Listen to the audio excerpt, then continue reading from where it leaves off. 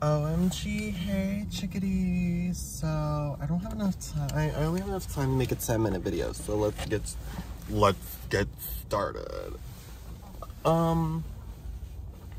So last night I went to the club. Yes, I did. Um. Of course, there's just a random ass man walking figures. Like lately, it's been giving very much weird vibes lately. Like everything is just really weird vibes. Like coming to work this morning, there was like so much traffic. Like everything's just giving weird vibes. Just like this random man walking to the corner of the parking deck with a giant ass iPad. Like, is he checking trash cans? Yeah, he's checking trash cans. Okay, well, I don't care. So, anyways, um, oh, my friend's texting. I can just feel him like watching me right now. Like, bitch, mind your own fucking business. Damn. Damn. The, already a minute into the video wasted. Thank you. Thank you. Okay, he's gone. All right, so basically, last night I went to the club and because I'm on antibiotics still, I didn't want to drink. Um, I didn't want to. I literally cannot drink. Um, so I just got like a Diet Coke.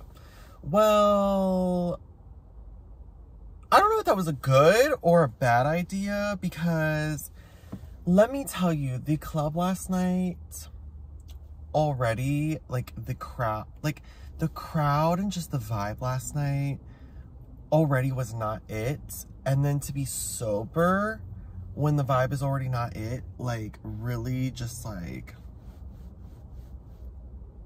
it left a really bad taste in my mouth. Like, I genuinely, like, I'm kind of like over the club right now. Like, I'm kind of over this one club I go to. I low-key, like, don't want to go back until, like, the end of July, like, August. Like, I really need, like, that much time off because of just how bad it was. Like, first of all, the fucking, the fucking, the freaking friend group took so long to get there. They took so long to get there. They didn't get there until like 11.30. And I got there at like 10.45. So I've just been like standing by myself for 45 minutes. Like, bitch, I was like standing up against a wall because my usual corner that I like to go to where it's like on this, like there's a chair like where I could sit at and it's like, it doesn't seem like it's in the corner. So you're not like actually standing in the corner by yourself was taken up by these freaking annoying people. By these freaking straight people. And I'm like, oh my god. Like, seriously? What the heck? So, like, I'm just chilling and then the freaking drag show starts. And of freaking course, I get like roped into being behind like like two clicks of really like annoying people and I'm just like someone please save me someone please rescue me. It was just like so freaking annoying. Like I just kept getting like shoved behind people and like and it's like what's annoying is it's like I have known these I don't know these people. I've never like introduced myself to them. They've never introduced themselves to me. But we know each other. Like I know that they're not like that ignorant to where they don't remember like they're not familiar with my face. Like we like the freaking city I live in, like the gay scene, the gay drag scene is very small. Um, and a lot of people go to all the shows in the city and it's like these the these people, like this like group of people I have seen for years, literally for years, probably over like four years at this point.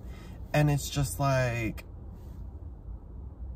you're really gonna give me a mean mug because I'm trying to tip someone and you're standing in front of me and you won't move out of the fucking way. like last night was literally giving just mean mugs. Like everyone really had an attitude towards me. Like I guess it was how I was dressed. Like I was just wearing an Adidas t-shirt, a pair of jeans, and some Adidas high tops. And then remember last week how I was like gushing over that one guy, Daquan, at the club? Okay, well, he comes up to me and he's like, You need to stop dressing like you're straight. I'm like, Oh, baby boy, what? Then I fucking catch his ass motherfucking flirting and kissing up on this one dude who is the same guy who always comes up to me and is like, Did you go to this high school? Oh, because you remind me of someone. And that dude was doing nothing but straight up giving me the stank face last night. I was like, oh my God, like, what did I do? Did I pee in someone's roses? Like, shit. Like, what the fuck?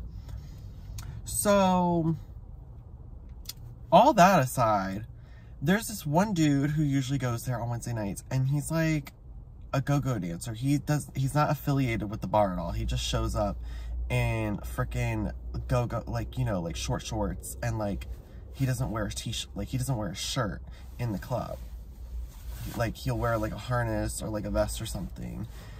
Um, I thought he was gay. Everyone thinks he's gay. Well, tell me why last night he is only dancing with underage girls and like rubbing up and touching on them. And he like started dancing with one of my old coworkers and like really like grabbing at her inner thighs and she was like freaking out and I felt so bad because I didn't do anything um, until like my friend like ripped her off, like ripped her away from the dude. I'm like, oh my freaking God, like he's literally like sexually assaulting these like girls on the fucking dance floor. Fucking creep. Creep. Creep. And he wasn't drinking anything. So I'm pretty sure he was like on like some sort of freaking drug, like freaking ketamine, freaking, who freaking know? I mean, he kind of has a meth body, so maybe he's freaking on meth. Oh my God. But like, ugh, ugh, like that, like that image in my head, I could really wish I could gone without like, I'm telling you guys, like she was literally like mouthing like, help me, like, help me, like, like you could see sheer panic on her face and just like, oh my God, like, and I feel so, bad that I didn't do anything. Like, I... Oh my god.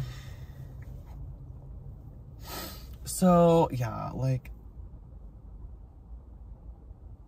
And then the one dude who has, like, the boyfriend, like, he was in a really weird mood last night.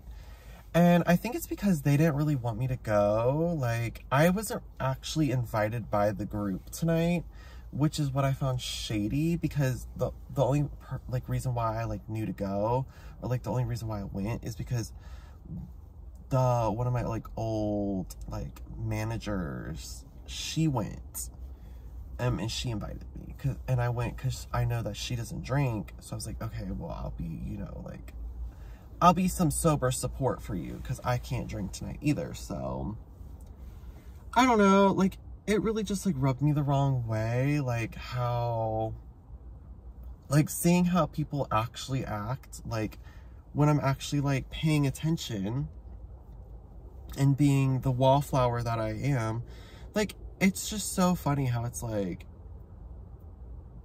you can be in a space that's like all inclusive, you know, LGBT friendly, yet feel so alienated and feel so like pushed to the wall. Like like it's like if you don't come with a like a clique or a group you're just gonna be solo the whole night. Like